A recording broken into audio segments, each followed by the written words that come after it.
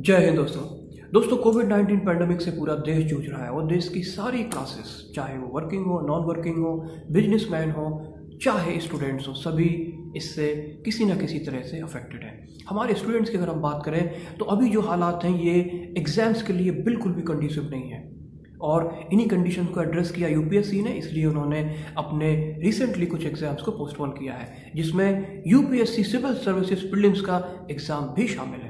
जो 27 जून 2021 को शेड्यूल था, इसको पोस्टपोन करके 10 अक्टूबर 2021 कर दिया है। और ये बहुत ज़रूरी हो जाता है कि इन हालातों में एग्ज़ाम्स को कंडक्ट ना कराया जाए। बड़ा सवाल है कि ट्वेल्थ का जो बोर्ड एग्ज़ाम है, इसका क्या होगा, इसका फेट क्या होगा? दोस्तों, आज क्या इस वीडियो में हम डिस्कस करेंगे कि क्यों ये एग्ज़ाम पोस्टपोन होना चाहिए और पोस्टपोन करने में या रीशेड्यूलिंग करने में गवर्नमेंट को किन किन चीज़ों का ध्यान रखना चाहिए? क्यों एग्ज़ाम में पोस्टपोन होना चाहिए? पहला पॉइंट है मेंटल ट्रॉमा स्टूडेंट्स इस समय एक मेंटल ट्रॉमा से गुजर रहे हैं। एक तरफ़ कोविड नाइन्टीन पैंडमिक की कंडीशन है, जो उनकी प्रिपरेशन में कई तरह से प्रॉब्लम क्रिएट करती है। साथ ही साथ ऐसे बहुत सारे स्टूडेंट्स हैं जिन्होंने अपने किसी डियर वन को या नियर वन को अभी इस पेंडेमिक में खोया है और ये मेंटल ट्रॉमा उनकी प्रिपरेशन को अफेक्ट करता है। दूसरा रीज़न है नंबर ऑफ़ कोविड केसेस हर दिन लगभग ढाई लाख केसेस सामने आ रहे हैं। हालाँकि पिछले कुछ दिनों में ये नंबर ऑफ़ केसेस घटे हैं, लेकिन फिर भी ढाई लाख केसेस हर दिन एक बहुत बड़ा फिगर है। तीसरा पॉइंट है हमारा medical facilities medical facilities disproportionate हैं in proportion to number of cases new cases COVID beds की अवेलेबिलिटी हो या ऑक्सीजन की सप्लाई इन सभी का इशू है, इन सब की क्राइसिस है। हमारा वैक्सीनेशन का, अगर आप इन फिगर्स को देखें तो अभी करीब चौदह करोड़ लोगों को फ़र्स्ट डोज दिया गया है। और चार करोड़ लोगों को करीब करीब दोनों डोज दिए गए यानी कि वो फुली वैक्सीनेटेड है। लेकिन ये हमारी टोटल पॉपुलेशन का करीब तीन परसेंट के आसपास होता है। और इसमें ये याद रखने वाली बात है कि ये जो एज ग्रुप है, ये 45 प्लस वाला एज ग्रुप है। हमारे जो स्टूडेंट्स हैं, वो 18 या उससे कम के एज ग्रुप में है, जिसका वैक्सीनेशन अभी स्टार्ट नहीं हुआ है। इट्स वैक्सीनेटेड नहीं है तो वो सेफ़ नहीं है। नेक्स्ट पॉइंट है हमारा, बाकी कंट्रीज़ ने क्या डिसीजंस लिए हैं। आप देखिए यूनाइटेड किंगडम यूके ने अपने लेवल ए और जीसीएस यानी कि general certificate for secondary education के सारे एग्ज़ाम्स कैंसिल कर दिए हैं। इटली ने अपने सारे रिटर्न एग्ज़ाम्स कैंसिल कर दिए हैं, वो ओरल एग्ज़ाम्स के बेसिस पे असेसमेंट कर रहे हैं। फ्रांस में भी लगभग सारे उन्होंने एग्ज़ाम्स कैंसिल कर दिए हैं और उनका असेसमेंट का प्रणय है कि जो ओवर द ईयर पूरे कैलेंडर ईयर में जो कैंडिडेट की परफॉर्मेंस रही है, उसी को ग्रेडेशन के बेसिस पे वो असेस करेंगे ओवरऑल परफॉर्मेंस बाकी बहुत सारी कंट्रीज़ हैं जिन्होंने इस पीरियड में एग्ज़ाम्स को कैंसिल कर दिया है। सारी कंडीशंस को असेस करते हैं तो ये कंडीशंस एग्ज़ाम्स कराने के लिए कंडीसिव नहीं है, इसलिए एग्ज़ाम पोस्टपोन होना चाहिए।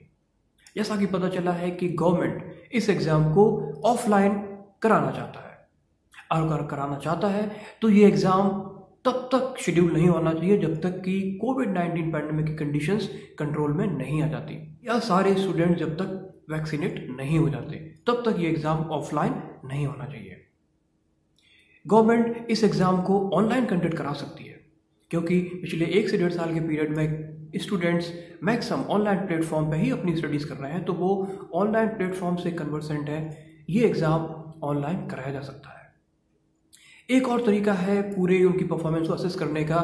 स्टूडेंट्स ने ओवर द ईयर जो अपने प्रीलिम्स का एग्ज़ाम दिया है, जो सेमेस्टर एग्ज़ाम दिया है, जो उनकी यूनिट टेस्ट हुए हैं, उनको भी डिफरेंट ग्रेडेशन के बेसिस पे असेस किया सकता है उनकी ओवरऑल परफॉर्मेंस को। तो बहुत ही ज़रूरी पॉइंट है दोस्तों कि गवर्नमेंट जो भी डिसीज़न लेता है इस एग्ज़ाम से रिलेटेड लेकिन उसमें ये पॉइंट ज़रूर शामिल होना चाहिए कि स्टूडेंट्स का जो फ्यूचर प्रॉस्पेक्ट है जो कंपेटिटिव एग्ज़ाम्स वो एस्पायर कर रहे हैं, जो वो देना चाहते हैं, चाहे वो आईआईटी का एग्ज़ाम हो, नीट का एग्ज़ाम हो, या कोई और भी कोर्स हो, वो अफेक्ट नहीं होना चाहिए। मान लीजिए अगर ये एग्ज़ाम कैंसिल होता है या पोस्टपोन होता है तो किसी तो किसी भी तरह से जो उनकी फ्यूचर प्रॉस्पेक्ट हैं इन कंपेटिटिव एग्ज़ाम्स के लिए, चाहे वो एज वाइज हो या नंबर ऑफ़ अटेम्प्ट वाइज हो, वो अफेक्ट नहीं होना चाहिए, वो हिट नहीं होना चाहिए, उसका ध्यान ज़रूर रख। हमारे education minister Shri Ramesh Pokhriyal ji different different states के एजुकेशन सेक्रेटरीज के साथ मीटिंग कर रहे हैं। वो उनसे फीडबैक कलेक्ट कर रहे हैं और एक अच्छी अप्रोच है, उनके, उनका स्पेक्ट्रम वाइड होगा, वो एक बेहतर डिसीज़न ले पाएँगे जब वो तीस तारीख को इसकी फाइनल कॉल लेंगे कि इस एग्ज़ाम का फिर क्या होना चाहिए। मेरी एडवाइस स्टूडेंट्स के लिए है कि आप कोविड प्रोटोकॉल की गाइडलाइंस को स्ट्रिक्टली फॉलो करें।